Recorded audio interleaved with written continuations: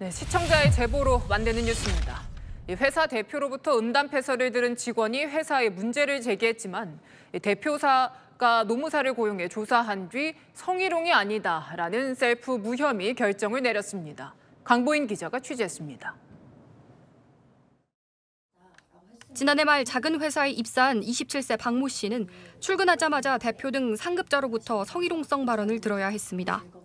채널A가 확보한 녹취에는 남녀 간 성관계를 나타내는 표현을 쓰거나 남자친구에게 생일 선물로 간호사복 등을 입고 코스프레 해주라는 것을 대표가 인정한 발언이 담겨 있었습니다.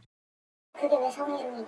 저 있기 전에 다른 여성분이 한 분 있었는데 그때는 음담패설 수위가 더 심했다. 지금은 약한 거다. 참다 못한 박 씨는 지난 4월 회사에 문제를 제기했는데 한 달여 만에 돌아온 답변은 성희롱이 아니라는 겁니다. 알고 보니 성희롱 혐의를 받는 대표가 직접 노무사를 고용해 조사한 뒤 성희롱이 아니라고 셀프 결론을 내린 겁니다. 해당 노무사는 증거를 찾고 조사해 보고할 뿐 최종 판단은 사업주가 한다고 설명합니다.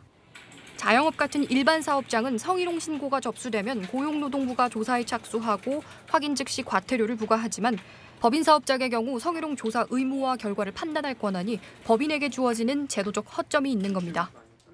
해당 업체 대표는 법적 절차를 안내받아 정당한 과정을 통해 결과를 박 씨에게 통보했다고 해명했습니다. 대표자가 행위자이고 조사를 진행하니까 사실 신고인이 기대하는 공정하거나 이해할 수 있는 결과를 받아보는 게 쉽지는 않은 게 사실이죠. 고용노동부는 대표가 성희롱 대상일 경우 법인이라도 직접 조사하고 과태료를 물리는 방향으로 법 개정을 추진 중입니다.